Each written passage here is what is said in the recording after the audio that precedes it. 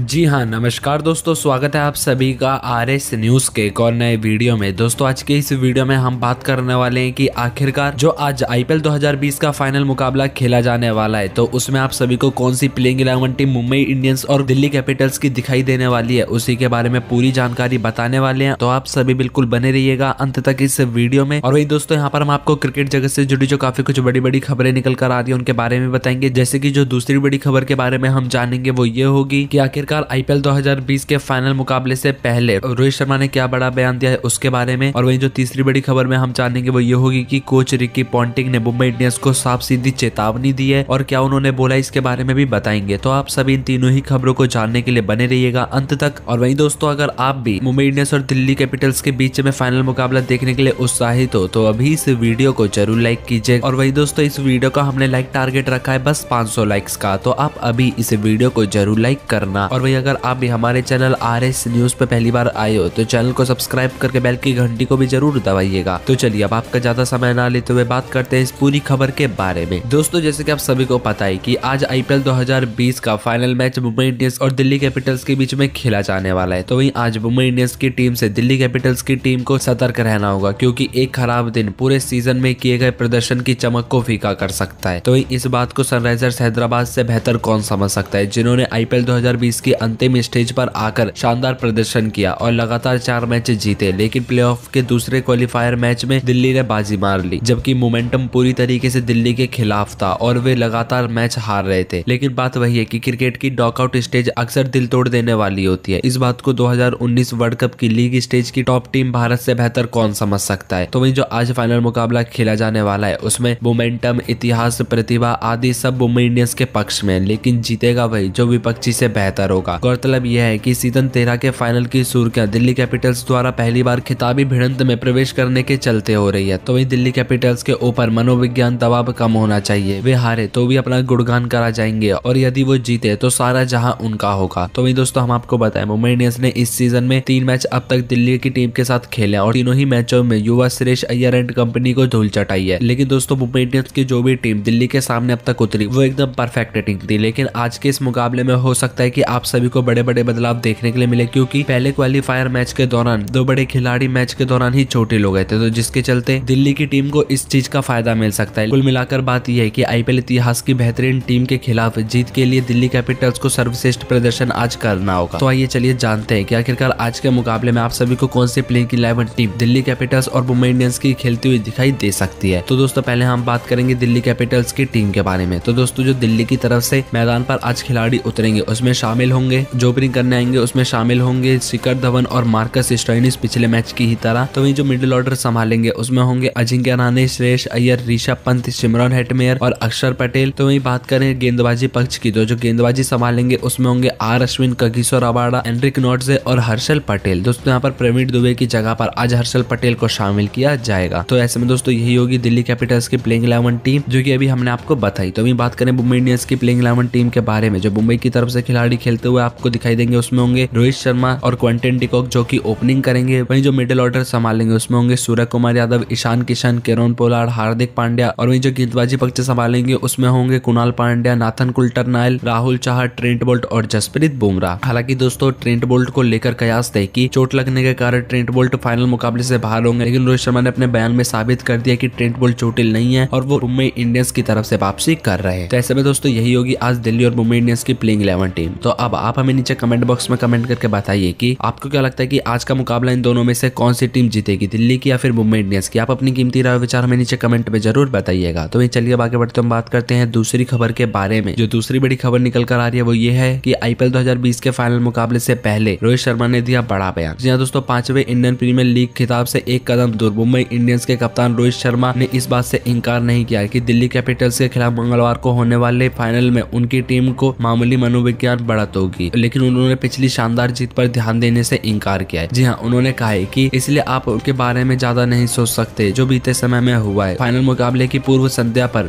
Indians के कप्तान ने हालाँकि इस बात से इनकार नहीं किया, कोई भी जीत टीम का आत्मविश्वास बढ़ा देती है। आईपीएल में शानदार प्रदर्शन करने वाले खिलाड़ियों में से एक रोहित शर्मा ने यह भी कहा कि ईमानदारी से कहूँ तो हम इन खिलाड़ियों से पहले कैसे खेले और हमने उन्हें हरा दिया। हमें सिर्फ़ यह सोचने की ज़रूरत होगी कि वे नई टीम है और हम इस प्रतिद्वंदी टीम के खिलाफ बतौर टीम क्या करेंगे? ये हमारे लिए इतना ही सरल है और हम मैदान पर यही चीज़ें करना चाहेंगे। तो मुझे भरोसा है कि हम पांचवा खिताब भी अपनी झोली में डाल सकेंगे। तो वही आगे उन्होंने बोला कि टेंट बोल्ट को पहले क्वालिफायर में ग्रोइन की मामूली चोट थी, लेकिन कप्तान को भरोसा है कि वह टीम के सबसे अहम मैच में उपलब्ध रहेंगे। तो ऐसे में दोस्तों, यहाँ पर उन्होंने बताया कि ट्रेंट बोल्ट शामिल होने वाले हैं आज के इस मुकाबले में। तो दोस्तों, आपको क्या लगता है, क्या रोहित शर्मा बिल्कुल सही कह रहे हैं? क्या दिल्ली कैपिटल्स की टीम को उन्हें हल्के में नहीं लेना चाहिए और आज का मुकाबला मुंबई इंडियंस जीतेगी? आप अपनी कीमती राय और विचार हमें नीचे कमेंट बॉक्स में कमेंट करके ज़रूर बताइएगा। तो चलिए आगे बढ़ते हम बात करते हैं अगली खबर के बारे में, जो अगली बड़ी खबर निकल कर आ रही है, वो ये है। जी हाँ दोस्तों, जैसे की आप सभी को पता है की जिस चीज़ का हम सभी बेसब्री से इंतज़ार कर रहे थे आईपीएल 2020 के फाइनल का, अब वो घड़ी आ चुकी है, जब हम सभी को champion team Mumbai Indians Delhi capitals के खिलाफ अंतिम और आखिरी आईपीएल 2020 का मुकाबला खेलते हुए नज़र आएगी। दरअसल हम आपको बताएँ कि आईपीएल के तेरहवें सीज़न का final defending champion Mumbai Indians और दिल्ली कैपिटल्स के बीच 10 नवंबर को दुबई में खेला जाएगा। तो वहीं रोहित शर्मा की कप्तानी वाली मुंबई इंडियंस के पास अपनी परफेक्ट इलेवन के साथ रिकॉर्ड पांचवी बार खिताब जीतने का मौका होगा। तो वहीं सुरेश अय्यर की कप्तानी में दिल्ली की नज़र अपने पहले खिताब पर होगी। तो वहीं हम आपको बताएँ कि दिल्ली की टीम की तरफ़ से ओपनर बल्लेबाज शिखर धवन ने आईपीएल 2020 में दो शतक लगाए हैं और वो ऐसा करने वाले लीग के पहले बल्लेबाज भी हैं। और इस सीज़न में दिल्ली की ताकत रही है उनकी गेंदबाजी। दरअसल टीम को चैंपियन बनाने के लिए उनके गेंदबाजों को मुंबई की परफेक्ट इलेवन से पार पाना होगा, क्योंकि मुंबई मुंबई में मौसम बिल्कुल साफ़ रहने वाला है, जहाँ पर तापमान तेईस डिग्री सेल्सियस से लेकर बत्तीस डिग्री तक जाने की संभावना जताई गई है और वहीं दुबई की इस पिच से बल्लेबाजों को काफ़ी ज़्यादा मदद मिल सकती है और यहाँ स्लो विकेट होने के कारण स्पिनरों को भी काफ़ी ज़्यादा मदद मिलेगी। तो ऐसे में टॉस जीतने वाली टीम पहले बल्लेबाजी करना पसंद कर सकती है और इस आईपीएल सीज़न में यहाँ हुए पंद्रह मैचों में पहले बल्लेबाजी करने वाली टीम की जीत का सक्सेस रेट चौसठ परसेंट रहा है। तो वही दोस्तों, आगे बढ़ने से पहले आइए चलिए नज़र डाल लेकर सत्ताईस मुकाबले खेले गए हैं, जहाँ पर सत्ताईस में से बारह मैचों में दिल्ली की टीम ने जीत हासिल करी है और मुंबई की टीम ने पंद्रह मुकाबले जीते हैं। तो जिसके चलते दोस्तों, पलड़ा तो मुंबई इंडियंस की टीम का ज़्यादा भारी पड़ता हुआ दिखाई दे रहा है। लेकिन जैसा की हमने देखा, सनराइजर्स हैदराबाद को जिस तरीके से दिल्ली की टीम ने हराया, उसे देखने के बाद तो हेड टू हेड पर किसी को भी यकीन नहीं होना चाहिए। तो वहीं आइए, चलिए बात करते हैं अब एक एक करके इन दोनों ही टीमों के प्लेइंग इलेवन टीम के बारे में, कि फाइनल में आप सभी को कौन कौन से खिलाड़ी खेलते हुए मैदान पर उतर सकते हैं। उसमें शामिल होंगे कप्तान रोहित शर्मा खुद, वहीं दूसरे नंबर पर आप सभी को क्वेंटन डिकॉक दिखाई देने वाले हैं। तो वहीं तीसरे नंबर पर ईशान किशन खिलाड़ी आप सभी को खेलते हुए दिखाई देंगे। उसमें पाँचवें नंबर पर हार्दिक पांड्या का नाम रखा गया है, छठे नंबर पर कुणाल पांड्या और सातवें नंबर पर किरण पोलाड़ का नाम आता है। तो ये बात करें गेंदबाजी की तो गेंदबाजी में मुंबई इंडियंस की तरफ़ से जसप्रीत बुमराह का नाम आठवें नंबर पर रखा गया है, नौवे नंबर पर राहुल चाहर का नाम है तो वहीं दसवें नंबर पर जेम्स पैटिंसन और ग्यारहवें नंबर पर ट्रेंट बोल्ट आते हैं। हमें उम्मीद है कि आपको दिखाई गई जानकारी पसंद आई होगी। वीडियो अच्छा लगा तो वीडियो को लाइक करना, साथ में चैनल को सब्सक्राइब करना जिससे की जो आगे की अपडेट होंगी वो आप सभी को सबसे पहले चैनल पर देखने के लिए मिलती रहे। तो मिलेंगे अगली को ऐसी जानकारी में। तब तक के लिए जय हिंद जय भारत।